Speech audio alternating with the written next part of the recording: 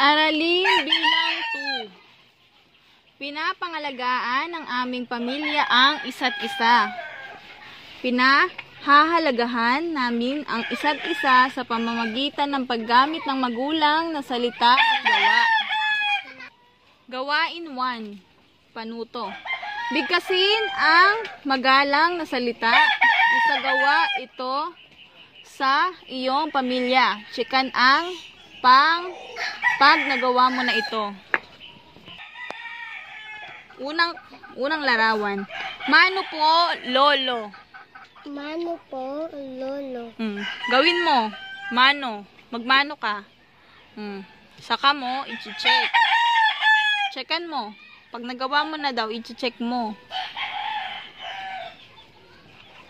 Pangalawang larawan. Magandang umaga po. Oh, gawin mo yung magandang umaga po.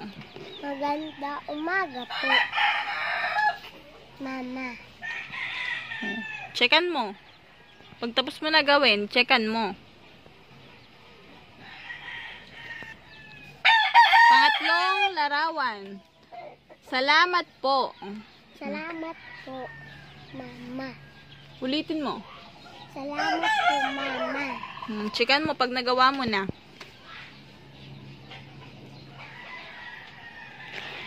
Pang-apat na larawan. Tuloy po kayo, Lola. Tuloy po kayo, Lola. Tuloy po kayo, Lola. lola. Hmm.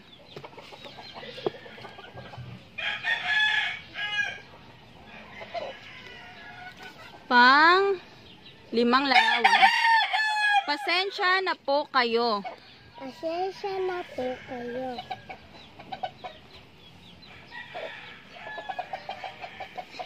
Mahal po, mahal ko po kayo.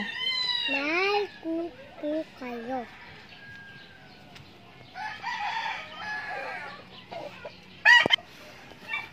Naipapakita ang pagmamahal sa mga kasapi ng pamilya at sa nakatatanda sa pamamagitan ng pagsunod ng maayos sa utos. Gawain 2. Panuto. Kulayan ang larawan na nagpapakita ng pagsunod sa utos. Kahilingan sa mga ka- kasapi ng pamilya. Anong ginagawa ng bata sa unang larawan? Anong ginagawa? Pangalawang larawan, anong ginagawa? Naglilinis ng bahay. Pangatlong larawan, anong ginagawa? Nagsasampay ng la- labahan. Pang-apat, anong ginagawa ng bata? Naghugas ng plato. Lahat ba yan nagpapakita ng pagsunod sa utos? Opo. Kukulayan mo yan lahat. Kukulayan mo lahat ng larawan. Para.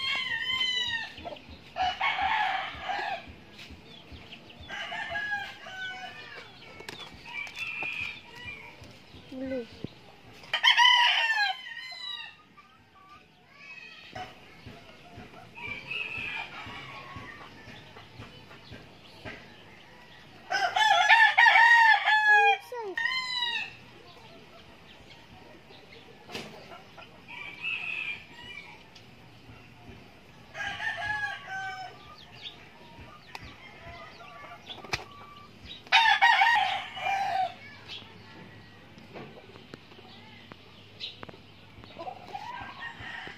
Ito, yan.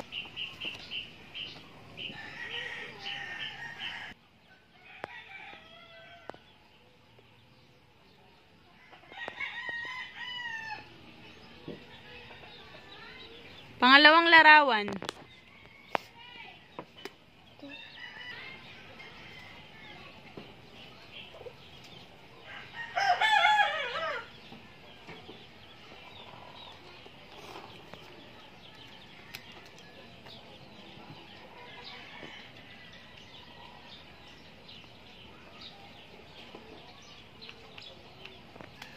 Pangatlong larawan.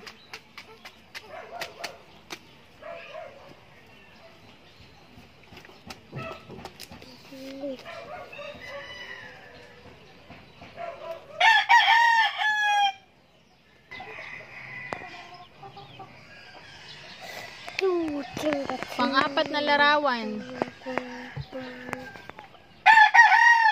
Tingnan mo yung plato, ah. Halma.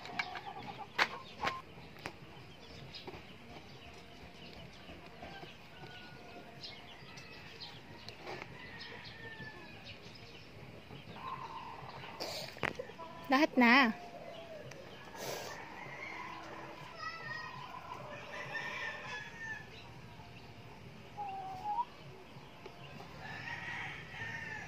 Yung plato. Yung hawak niya. Tapos na.